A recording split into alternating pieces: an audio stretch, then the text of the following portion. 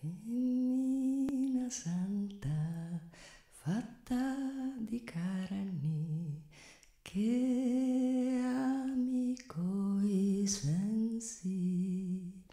E inviti alla vita, inviti alla vita, inviti alla vita, racconta quel che non so per essere donna, racconta quel che non so per essere donna.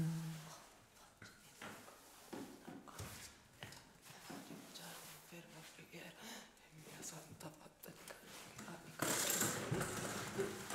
guarda quel che non so per essere donna ammi notizia d'amore per gli uomini io ecco qui orgoglio ecco le mani bruciate Eleanor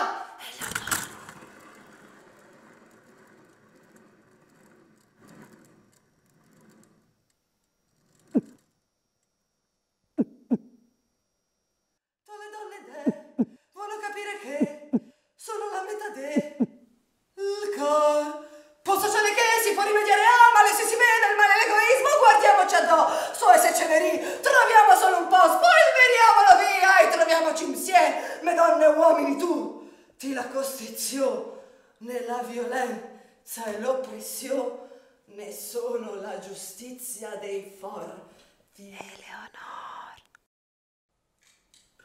quando il babbo è morto, non ho avuto il tempo di sposare la mamma.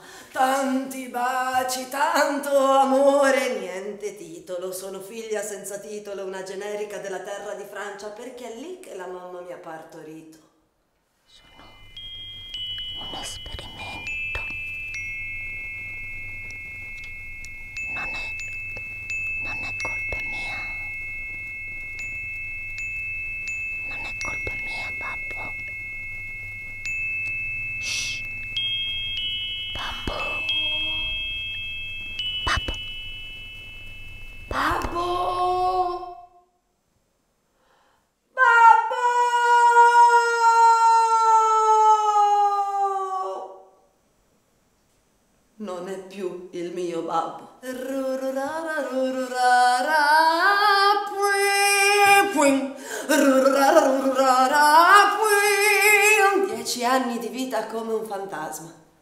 Nessuno mi vedeva e nessuno mi conosceva.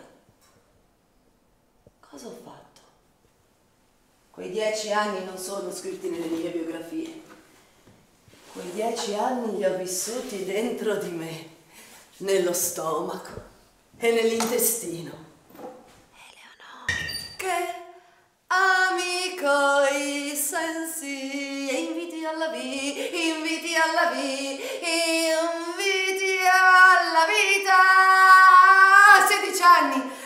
appena iniziavo a vedere il mondo, un uomo, André Chazal, il litografo, con la bottega fra il boulanger e il verdulero, m'ha presa.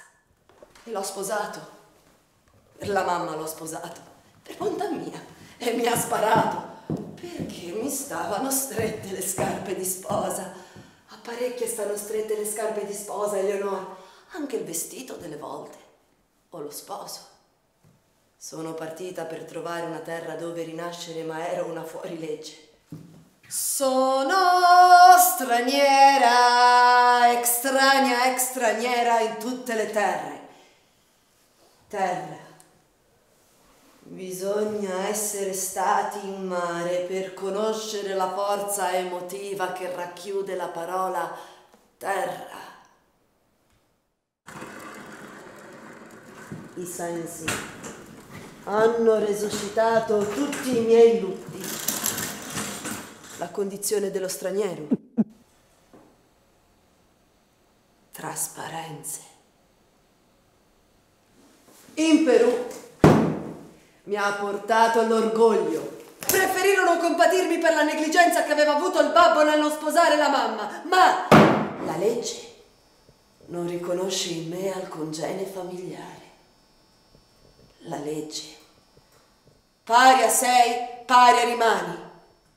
Ma una cosa mi ha dato il coraggio di continuare a esistere dentro di me. Le donne.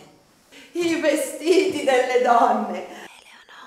Come Brunelleschi con la sua finestra ho potuto vedere le cose in prospettiva e le cose che mi si disegnavano su quel vetro erano così piccine, streminzite. È questo il gran mondo?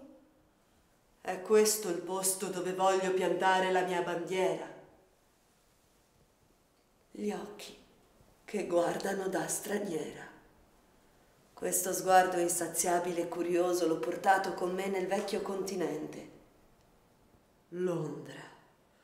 Questa città è un mostro, dalle membra gigantesche, la cui testa non è più grande di quella di una formica. La prostituzione è la ferita più profonda prodotta dall'iniqua ripartizione dei beni di questo mondo la donna. La donna è la proletaria del proletariato stesso.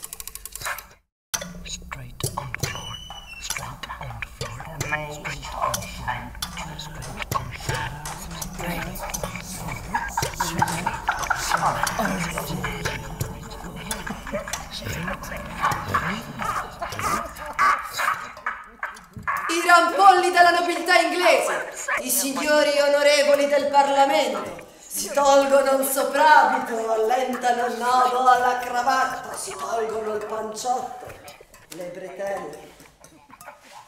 Ricreano il loro salottino privato. Perché dovrebbero inibirsi? Lo pagano il loro diritto al disprezzo. In quel finish ho visto donne superbe. Una era irlandese.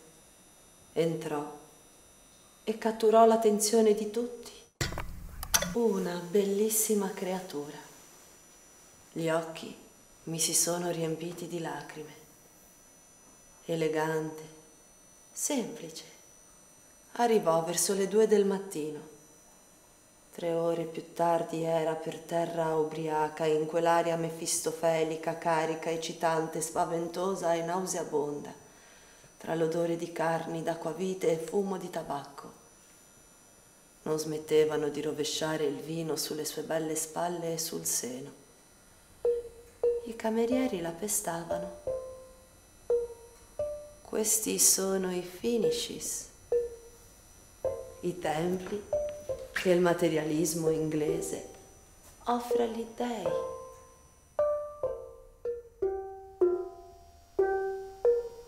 Ho imparato a scrivere libri.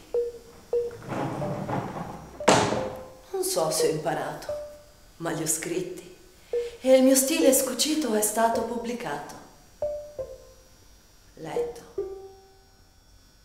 Sono una donna troppo attraente per essere letta ormai nomade, straniera di professione, potevo iniziare a camminare le strade di Francia.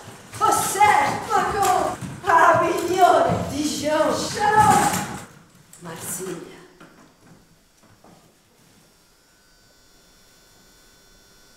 Mi sono fatta popolo per raccontare tutta la verità che ho imparato a tutti i diseredati che ho incontrato. Di vanto in un soffio di vanto in un soffio di vento. Cara Olimp, nulla è inutile. Anche i cattivi stanno nel disegno di Dio. Tutti siamo necessari alla terra e viviamo della sua vita. Olimp il commercio è diventato così importante per gli inglesi che non c'è più nessuno che non abbia come unico pensiero fare soldi, to make money. Sento di essere arrivata al punto in cui l'amore di nessun uomo potrebbe bastarmi. Quello di una donna forse. Ma ed è molto facile concepire l'amore. Due donne possono amarsi d'amore e due uomini anche. Tutto questo solo per dirvi che in questo momento sento un'ardente sete di essere amata.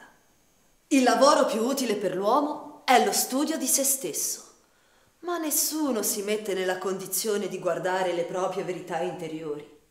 È alla donna che spetta questo compito, perché la donna è grande e forte quando sente la sua voce. A lei il compito di insegnare al mondo la legge della fratellanza, a lei che è madre. Spetta il lavoro della cura e della devozione. Gli spazi e le architetture per la vita comune devono essere un esempio artistico. Bisogna insegnare a leggere la bellezza e l'onore.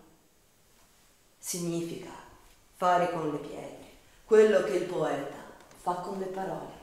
Femmina santa, fatta di carni, levami coi sensi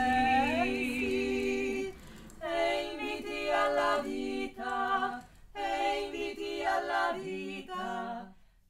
Due cose stupivano Flora Tristan. L'intelligenza delle bestie e la bestialità degli uomini. Marx diceva che Flora non era scientifica, che il suo socialismo era utopico. Le femmine, le donne tutte, artigiane di creature, non riconoscono l'utopia come tale, perché sanno cosa fa il corpo per collaborare allo sviluppo di un altro essere umano. Quando l'amore crea l'armonia in un corpo, ogni cellula è sorella dell'altra, ogni goccia di sangue si unisce per proseguire la vita. Per noi l'amore è organico, non è utopia. Conosciamo la differenza tra la malattia e la salute. La malattia aggredisce il corpo e il corpo come una comunità aggredisce la malattia in una rivoluzione di corpi e di anticorpi che porta spesso alla morte. E sappiamo bene cosa porta la vita. Non è un'utopia il nostro ventre che si gonfia.